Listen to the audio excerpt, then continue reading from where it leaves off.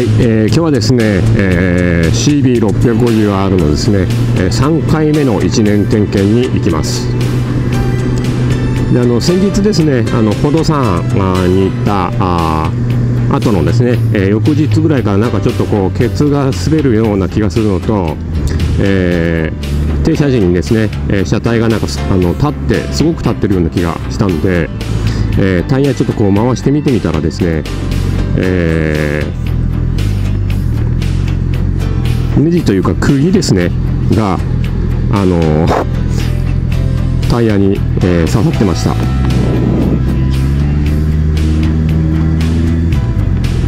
で今日はねそれ、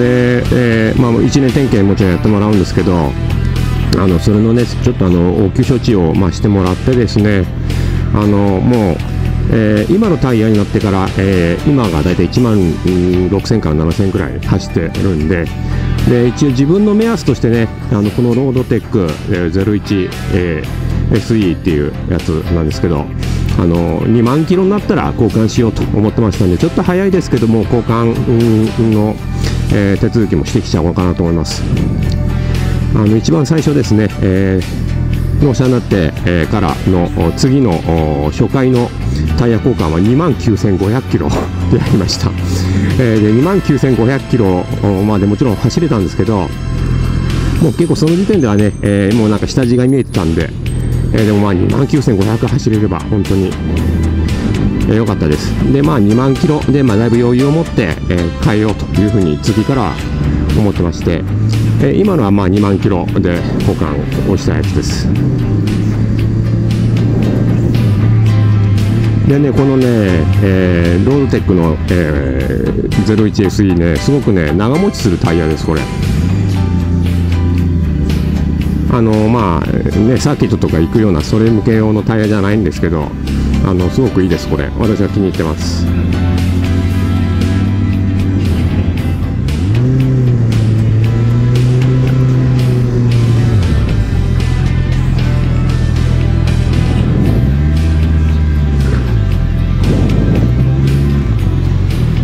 これでいいかな。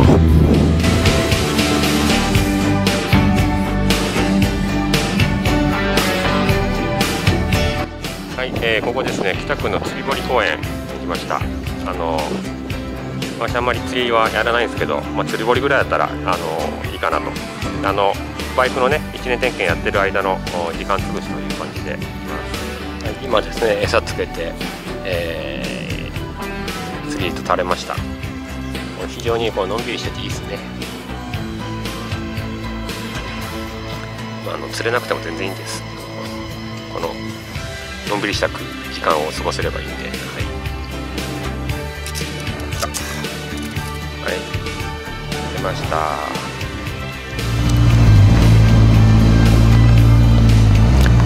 はい、えー、3回目のですね1年点検が終わりました。